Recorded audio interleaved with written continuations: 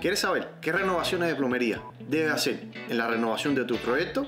Pues bien, comenzamos.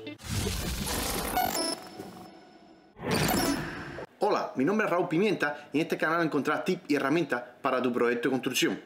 Por lo tanto, una vez que hayas comprado la propiedad y estés chequeando la parte de plomería, con suerte, en muchos lugares, acá en la Florida es, raro, pero en otros estados te lo encuentras que tiene un sótano o un, un, un basement. Entonces ahí en ese sótano que tienes de la propiedad, vas a buscar que tienes, dice, bueno, ok, voy a chequear las tuberías, estás mirando, primero vas a buscar tubería agua caliente, tubería agua fría, el sistema de, de, drenaje, todo ese sistema hidráulico que tienes en la propiedad, todo ese sistema que va al sewer o al, a la alcantarillado de aguas negras, entonces estás chequeando todas esas tuberías, por, la, por, lo, por lo general, la mayoría son de cast o son de hierro, ¿sabes? Como se conoce, son tuberías de hierro. Entonces, va a ver que con el tiempo de los años y los años, esas tuberías se han oxidado, se han dañado y debes chequear todas, todas y cada una de ellas, todas las que estén a vista, esos detalles, ya que eso te va a servir. Son propiedades viejas, por lo menos tienen ese sistema de cast iron porque en, o de hierro,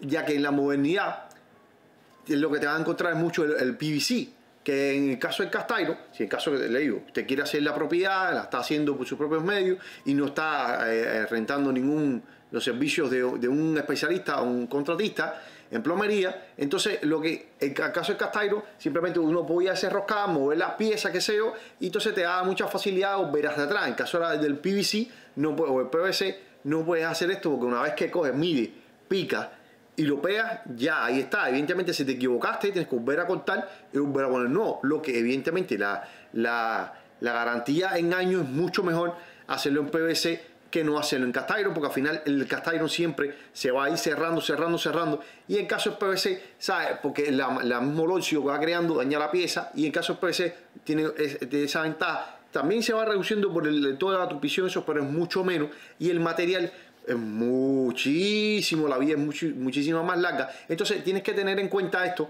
cuando estás comprando la propiedad y estás haciendo tu renovación de, de plomería las modificaciones en la plomería que vas a hacer. No puedes estar cogiendo decir, bueno, tengo un pedazo aquí de cast iron, voy a quitar esto y voy a hacer otra conexión con PVC. Tienes que, tú sabes, dice, bueno, evidentemente ves un pedazo que está dañado, vas revisando y dices, bueno, esto aquí está dañado, ¿cómo estará lo otro? Evidentemente todo es de la misma época cuando están haciéndose. Lo mejor es quita todo, bota todo eso y pon nuevo, ya que todas esas piezas, todas las conexiones, todas las entradas, ponlo, quita todo eso hazme caso, y ponlo todo nuevo, ya que evidentemente si una pieza ya está, está dañando, la otra entre uno o dos años va a estar dando problemas. Entonces, si tienes esa propiedad y la estás viviendo, entonces, eh, mira, tengo este problema. Y lo otro es que si hiciste todas estas remodelaciones, hiciste nuevas conexiones, las pusiste y evidentemente tienes que, eh, lo más seguro vas a tener que pedir una inspección, ¿sabes? Vas a tener que sacar permisos y demás y demás, porque estás cambiando todo el sistema y, ¿sabes? Por el código tienes, debe estar revisando esto